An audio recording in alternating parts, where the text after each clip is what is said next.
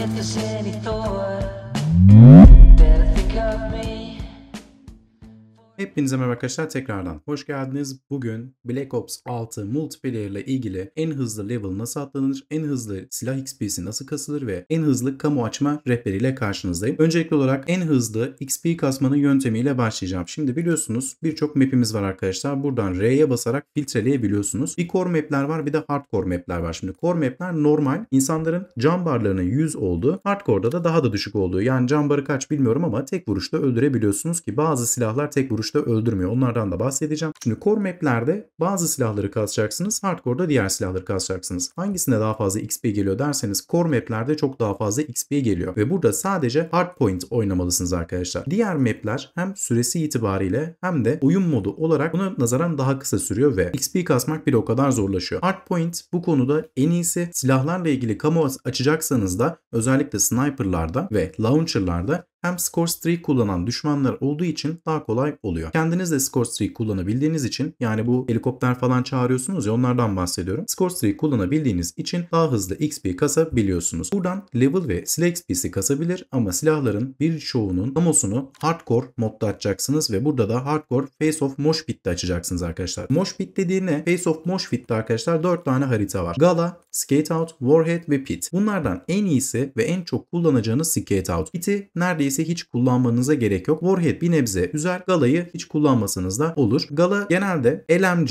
AR veya da Marksman Rifle'ları kasabileceğiniz bir yer. Çünkü headshot atmanız daha kolay bu silahlarla. Fakat SMG, pompalı, tabanca gibi silahlarla arkadaşlar hepsini Skate Out'ta kasmanız gerekiyor. Bu hani tabii ki diğer maplerde de kasabilirsiniz fakat headshot atmak, ardarda arda kill almak, ardarda arda daha fazla headshot atmak Skate Out'ta en mümkünü. Yani burada en önemli şey Skate Out ve bunu hardcore'da oynayacaksınız. Şimdi nasıl aratıyorsunuz? Fight Match dedikten sonra arkadaşlar oyunu arıyor. Şimdi oyun lobiyi bulduktan sonra Skate Out bulana kadar lobiden ayrılın. Dolayısıyla Skate Out bulduktan sonra lobiye girip orada oynayabilirsiniz. Sürekli bu şekilde aratıp aratıp Skate Out gelene kadar bekleyebilirsiniz. Hem bu şekilde zaman kaybetmemiş olursunuz. Bu kısıtlı bir süreyle oynuyorum. Günlük 1,5-2 saat, 3, bazen 3 saati bulabiliyor. Ona rağmen birçok silahımı şu anda Diamond yaptım arkadaşlar. Hemen size göstereyim. Bunları nasıl yaptım onlardan da bahsedeceğim. AR'lerde hepsi gold arkadaşlar. Sadece şu Goblin MK2 gold yapmadığım için diğerlerini Diamond'a çıkartamadım. Bunun da XP'sinin açılmasını bekliyorum level'ının. Şu anda 39 level'ım. Neden 39 level'ım onu da anlatacağım. SMG'lerde hepsi Diamond şu anda. Şöyle de göstereyim. Zaten bir tanesinin Diamond olduğu, diğerlerinde Diamond olduğu anlamına geliyor. Veya hepsinin Gold olduğu anlamına geliyor arkadaşlar. Tek tek gösterecek olursam hepsi burada gördüğünüz üzere Diamond arkadaşlar. Bütün silahlarda hangisinde ne yapmanız gerektiğini anlatacağım. Özellikle Launcher'da yani bizim şu oynadığımız bakın EE1 bu da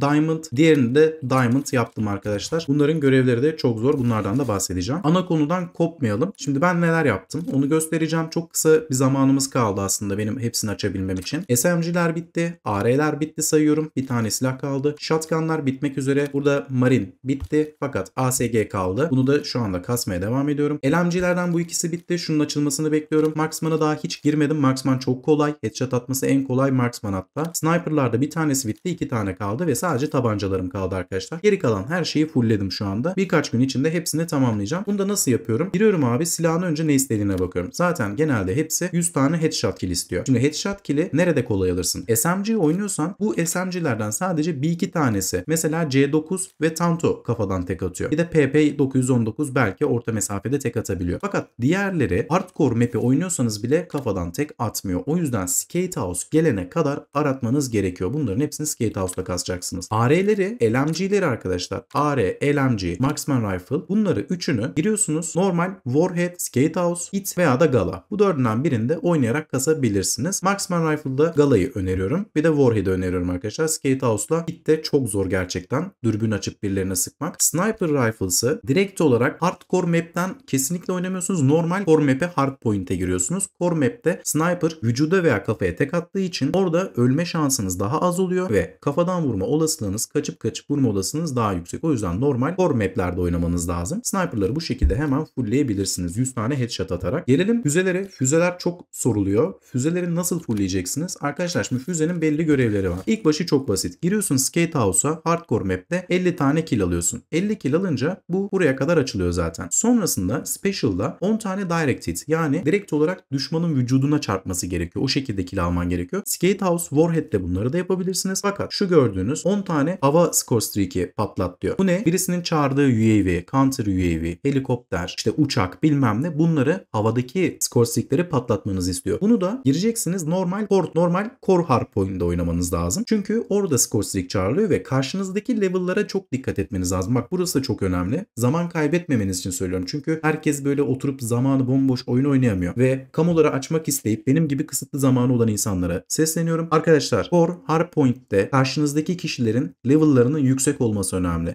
Level'ları düşükse eğer bu kişilerde daha score streak açılmamış veya da hiç ellememiş oluyorlar ve onlar hava yardımı çağıramıyorlar. Onlar en fazla launcher falan çağırabiliyorlar. O yüzden level'larının yüksek olması önemli ki onlar da kullanabilsin. Ha siz de kullanın arkadaşlar karşı takım da yapabilsin bu görevleri. Bazıları inadına kullanmıyor mesela. Ben daha bire kullanıyorum. Karşı takımdan da eğer ki görevi olan biri varsa yapsın diye. Bunun dışında Gold'u açmak için ya Score Streak ya da Vehicle patlatmanız gerekiyor. Vehicle zaten şu anda yok bildiğim kadarıyla şu anda gelmedi daha. O yüzden yine aynı şekilde Score Streak yapmanız lazım. Fakat bir maç içerisinde 3 tane patlatmanız lazım. Zaten abi alıyorsun bunu oturuyorsun tamam bekliyorsun hatta bir taktik daha vereyim. Gidip gidip adamlara öyle de bilirsiniz. Sürekli öldüğünüz zaman o kişinin kill streak'i arttığı için score streak de çağırabiliyor. Dolayısıyla ölüp ölüp geliyorsunuz abi bir UAV bastı hemen fırlatıyorsunuz. Şimdi bu füze takip ediyor. Diğerinde bu arada Diamond'da anlatmama gerek yok. Bunda da yine aynı muhabbet var. Bunda da yine bir maç içinde 3 kill alman gerekiyor. 10 kere bunu tekrarlaman gerekiyor. Aslında bunlar basit arkadaşlar. Sadece en zoru burada Sigma olan değil de HE1. Şimdi HE1 takip etmeyen bir füze. Takip etmediği için score streak'leri vurmak inanılmaz zor. Ben bunu yavaş yavaş öğrendim. Nereye atmamız gerektiğini anladım ve bunu size gösteriyorum arkadaşlar. Şu anda ekranda gördüğünüz gibi atmanız gerekiyor. Yani ekrandaki o yuvarlak çerçevenin içerisinde uçak veya da o havadaki cisim en sağdan kaybolduğu gibi hemen atmanız lazım. Yani mouse'unuzu veya da kontrollerinizi fark etmez. Önüne doğru çekiyorsunuz. Birazcık yukarı kaldırıyorsunuz ve uçağın ucu görünmeyecek şekilde kaydırıp fırlatınca %100 vurabiliyorsunuz arkadaşlar. Tabi bunun için de biraz alışmanız gerekiyor. İlk atışta vuramayabilirsiniz. Gelelim knife ve beyzbol sopasına. Şimdi bu bıçakla arkadaşlar hemen Tactical'dan smoke alıyorsunuz. Buradan girip Tactical Expert'ten iki tane smoke koyuyorsunuz. Bunu şu anda yapanlara herkes çok sinir oluyor ama başka da türlü olmuyor. Adam gelene kadar vuruyor çünkü seni. Smoke atıyorsun ve diplerine girip spamlaya spamlaya kill almaya çalışıyorsun. Bu da çok basit. Tabancalar var. Tabancalarda zaten ben de daha açmadım. Tabancalar da çok kolay. Yine Skate House veya da